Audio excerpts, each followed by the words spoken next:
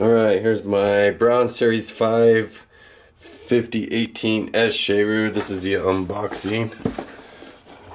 Um, it comes in a pretty nice box for gift wrapping. I really like the blue colors of black and blue. A lot of the Braun razors are coming out with. There's a manual all the way up on top. I already went through it quite a bit. I am not a big fan of the Braun instructions because they have all these pictures you're supposed to try to figure out, which you would think with pictures it would be easier, but here's the main razor.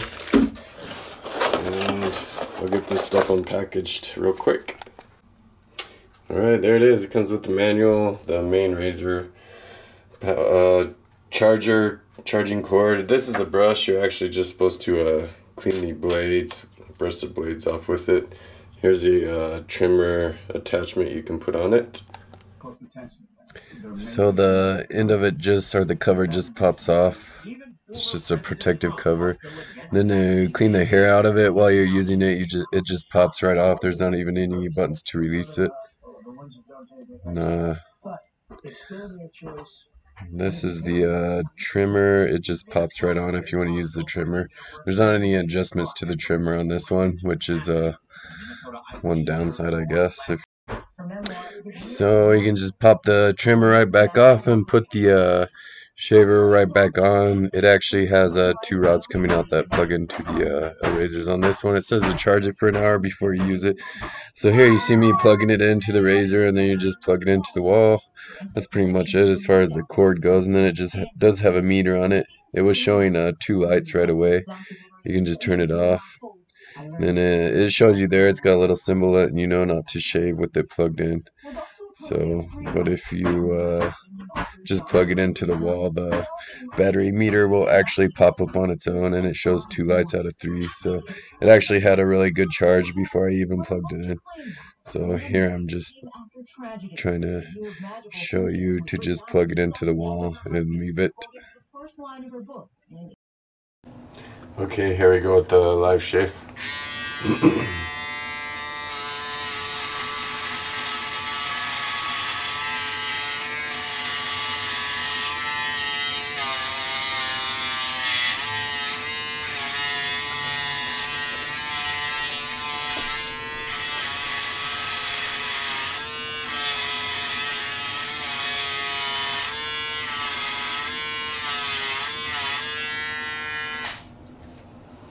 Mm, it's having a little bit of trouble. There's quite a bit of spring in this, so I am having to push down a little bit hard.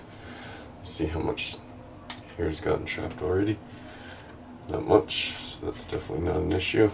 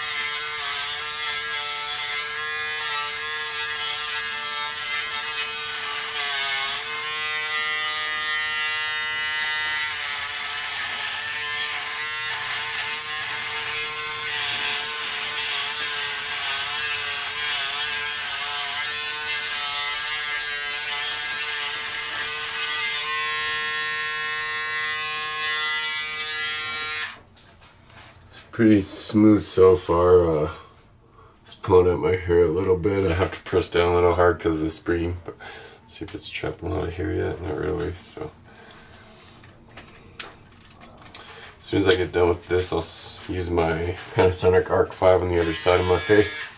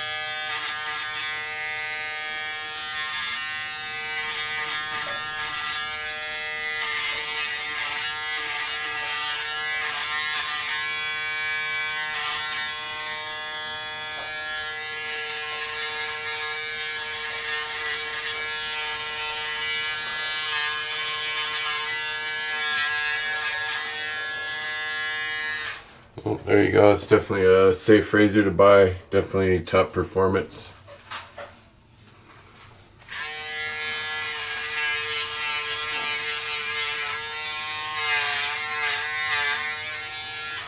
Mm-hmm.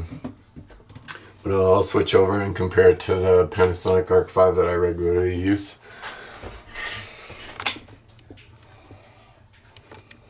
I'm going to show you a difference real quick. This is the Braun razor. It's got these two rods that slide into these uh, blades here. You attach it. The razor that I normally use is called a Panasonic Arc 5. You can see here the blades stay attached. So I'm sure they're fairly easy to replace anyways. And then the cover actually pops on over those. So that is the major difference between those this one does have as much spring, but I'm pretty sure that's going to be the difference. So go ahead and start with the live shave with this.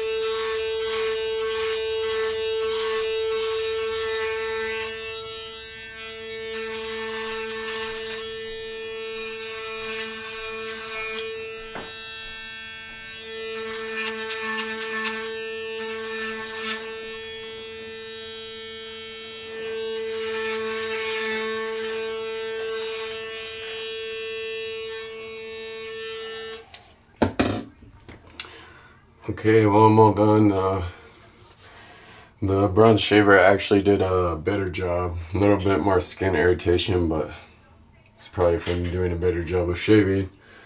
Uh, they're pretty close, not much difference, but uh, the Braun one was definitely just a tiny bit better. I don't do the uh, wet shaves with the uh, electric razors anymore. I just think it's a waste of time. So I would definitely buy the uh, Braun razor. So this is the razor that I do still use, even though I like the uh, electric tinfoil razors, I don't like the electric rotary shavers. I still use the uh, Gillette Fusion Pro Glide 5 blade power, I believe it's what it's called, it just uses a AAA battery. And then the blades actually last a pretty long time, so it might be cheaper in the long run to buy an electric razor, but These aren't too pricey. The blades are a little bit expensive, but it just vibrates as you're shaving. Uh, I still use this even over electric razors.